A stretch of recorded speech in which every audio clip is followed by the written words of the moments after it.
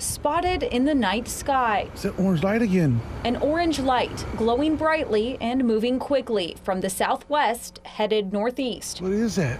Whatever that was, was captured in this video by Kyle resident Sal Sanchez. And I was recording it the whole time, just thinking, what is this thing? This was taken late last month, but it's not the first or only time he's seen it. The first time was in January. It looks like a fireball, but with no noise. Though he doesn't have it on video, he says this Sunday night was the most dramatic. Lights show like you wouldn't believe. I mean, you'd have to have been here to see it, one right after another. Sanchez says from what he's seen and heard or not heard, there's no way it's a drone. So many videos that are out there that depict the same thing that I've been seeing. We decided to reach out to UFO Jane. I've been doing this for over 10 years. I've, I've seen a lot.